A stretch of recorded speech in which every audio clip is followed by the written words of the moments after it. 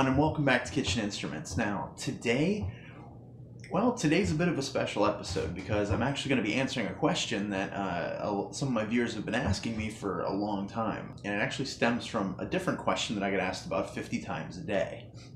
Now, the question I get asked a lot is, what do chefs typically make themselves after they get done working a long shift? Because, you know, some of these shifts can go quite a while. Um, you know, you're, you're cooking all day and sometimes you're in the kitchen for, you know, 10, 11, 12, 15 hours plus. So um, when you get home finally, uh, what is it that chefs like to eat?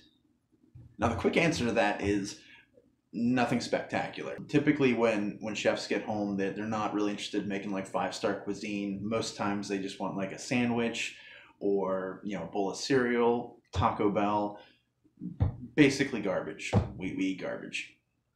Okay, in all seriousness, at the end of the day, chefs just want something that's going to be quick, easy, something that's going to just tick all the boxes, just fill you up and make you feel satisfied after after working a long day and just sweating your ass off in the kitchen.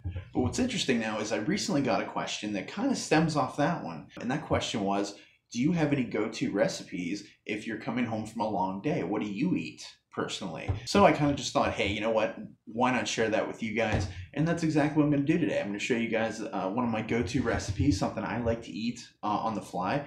Okay, so I'm going to warn you, this recipe is a little bit different, but I'll tell you what, for me, it ticks all the boxes. And if you're a fan of this particular type of recipe, I think you'll really enjoy it. I, it it's, it's a recipe you probably already know, but I like to put a couple of unique spins on it that, for me, just take it to another level. So uh, without further ado, I'll show you exactly what I'm talking about.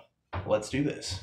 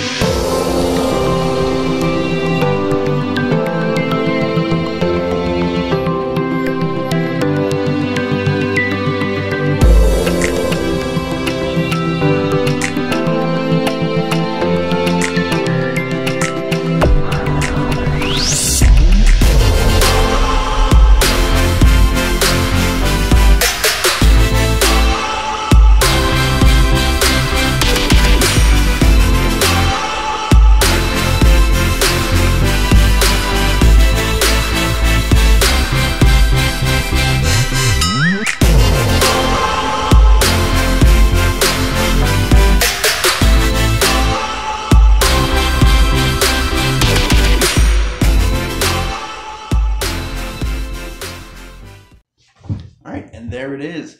Good old fashioned, nutritious, delicious, tick all the boxes tuna salad. Now, obviously, you can eat this tuna salad any way you like to eat tuna salad. You can put it on bread, however you like it, make a tuna melt, whatever. It's delicious. Me personally, I like putting them on saltine crackers. I think just the, the little salt that's on top of them just adds that little flavor punch. I know the cheddar cheese might throw a little bit off, but um, it's more of a, an East Coast thing. But, you know, give it a go. It really is quite delicious. So, Thank you for stopping by, guys, and I'll see you next time.